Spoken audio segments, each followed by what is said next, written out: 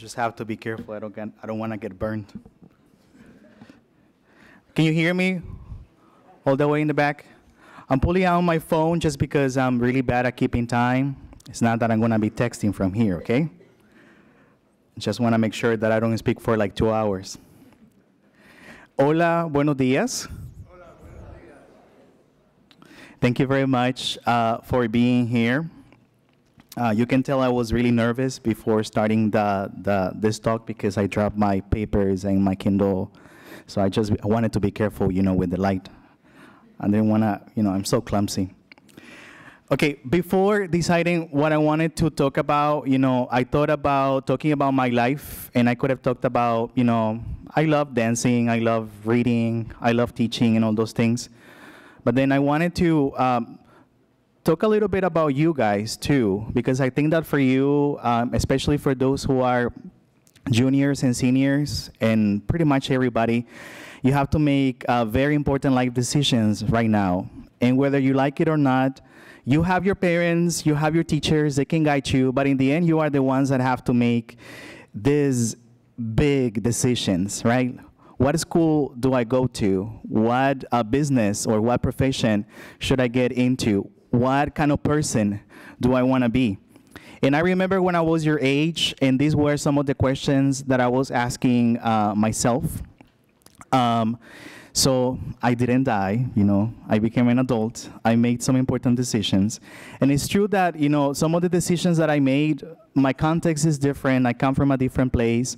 But hopefully, you know, some of the things that I, I tell you about, they might make you, kind of give you some ideas of the things that you would like to do.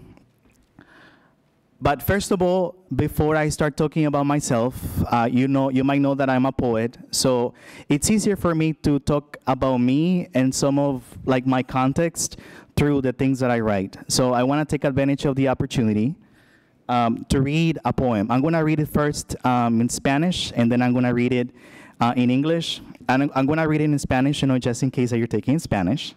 So you might enjoy this. But also, there's so much of the poem, you know, that you can get through from the, the rhythm and its language. So before I start reading this poem, let me give you, uh, let me give you a little bit of a context for this poem. Before I wrote this poem, three things happened.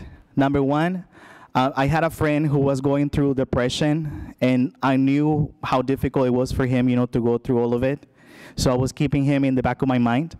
Then I was on the way to a city that is called Esteli in Nicaragua, and then I saw a man who was begging on the bus, and he was just like, his arms and his legs were crooked, and it was really painful, you know, to look at this uh, person begging and look at how he looked physically.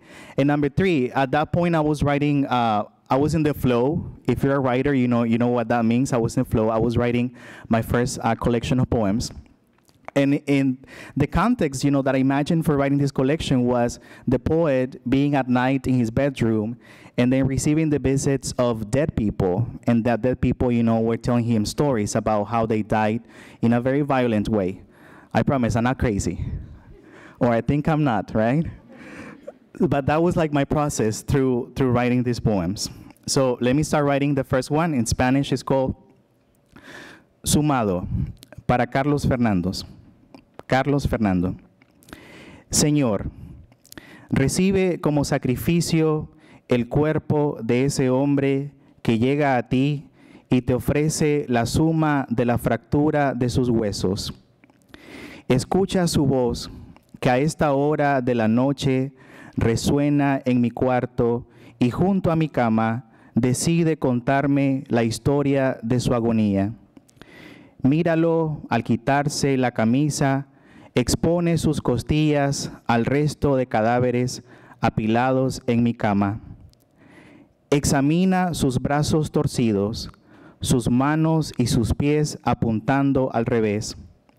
Un par de clavos crucifican su pelvis y fijan su dolorosa travesía al Gólgota para sostener su desvelo. Escucha sus huesos, crujen, estrellan y hacen añicos. Señor, perdona las miradas indiferentes y perdóname a mí porque soy igual que ellos. Now in English. joined for Carlos Fernando. Lord, accept as sacrifice the body of that man that comes to you and offers the sum of the fracture of his bones. Listen to his voice that at this hour at night echoes in my room and next to my bed. He decides to tell me the story of his agony. Look at him when taking off his shirt. He exposes his ribs to the rest of the corpses piled on my bed. Examine his crooked arms, his hands and feet pointing backward. A couple of nails crucify his pelvis and fix his painful journey to Golgotha to sustain his insomnia. Listen to his bones, they crash, crack, and shatter. Lord, forgive those who look with indifference, and forgive me because I'm like them. Something that I want to point out, you know, about this poem is that a very it's a very strong poem. And then at the end of the the last dance, it talks about indifference, and and this is something important for me. Um, you know, uh, humanity in general, we all suffer. That's part of the human condition. Um, and then it doesn't matter where you are from, what country you're in, you suffer, right? That's part of being human. But if I talk about my context, about Nicaragua, um, in Latin America in general, we know about suffering. We know about suffering. It's been, it's been a wild ride all along. Um, if I talk, for example, about my context, uh, before I was born, if I give you a little bit of a historical context, in the Nicaraguan Revolution in 1979, uh, from 35,000 to 50 people died during the war. There were 500,000 people homeless, and then at this time the population, it was 3 million. It was just 3 million Nicaraguans. So you can have an idea of how many people died. And then during the decade that I was born, in the 80s, there was a contra war. Um, there were 30,000 lives that were lost. There was an economic blockage um, a high inflation, destruction of in infrastructure, and then Nicaraguan economy uh, moved from being one of the best economies in the American continent to all the way down to being close to Haiti or even worse than Haiti. And this has been this has been the history of Nicaragua for the 200 years, you know, that we have been independent. So I grew up in that context, and even though I'm talking, you know, about Nicaraguan history in general, um, I have to tell you about my particular context. When my mom was at pretty much in 1718, she went all the way to the north of Nicaragua. Uh, she was part of the Sandinista, you know, movement. She um, she exposed her life. She there were many times that she almost died because she was very politically involved. The only way that she was able to get out of that, the conflict at that moment was to get pregnant, and that's how I came into the picture. So she was not let go of the place unless she got pregnant. She got pregnant and she saved her life. So it's it's really interesting for me, you know, when I discovered that I might have saved, you know, my mother's life. That's just fascinating. If I can talk about Nicaragua, Julio Cortázar, which is a very famous Argentinian uh, writer, he wrote about Nicaragua. Nicaragua so violently sweet that kind of gives you an idea of the kind of context that I come from. So then the question is, can you be indifferent to a situation like this? Because we're talking about the past, but even now, Nicaragua is living under a dictatorship. There's violence, there's poverty, there's lack of education. People have been leaving the country, you know, for the last uh, couple of years. So can you be indifferent to that? You could, you know, if you want to survive and you don't want to be feel pain. But in my particular case, when I was very young and because of the way that I was raised, I decided that I didn't want to be indifferent.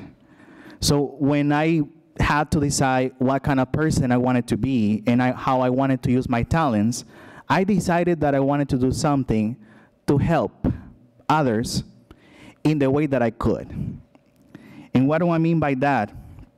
I was aware that if you remember this parable from the talents, that if you receive a talent, you're supposed to use it, not because other people need you, but because it's your responsibility as a human being to use your talents to serve others. So when it was a moment to decide uh, what career should I go for, I already spoke, you know, English. So then I was like, all right, I'm gonna become a language teacher. Has that been really, um, has, done, has that done any, any good? It has. I had had the opportunity, you know, to teach kids that have come from very underprivileged uh, backgrounds, and they have had the opportunity to learn the language, and they have improved their lives. I learned sign language, so I volunteer uh, for the deaf as an interpreter um, and a teacher for many years. And I have done other things. But that was not with the purpose of thinking, you know, oh, poor people, they need me. Because I don't think that's the mentality. The mentality is, I have these talents, and then what am I supposed to do with these talents? When I decided to become a writer, it was the same thing. I'm an introvert. I love reading. I love spending time by myself. It was the opportunity, you know, to learn more about other people and write about their circumstances. Um, what is my point? You might feel a lot of pressure right now to decide what to do, the, the university that you want to go to. But be true to yourselves. What do you really want? What are your talents? Uh, what are your values, most importantly? How are you going to use, you know, your talents and your values to serve other people?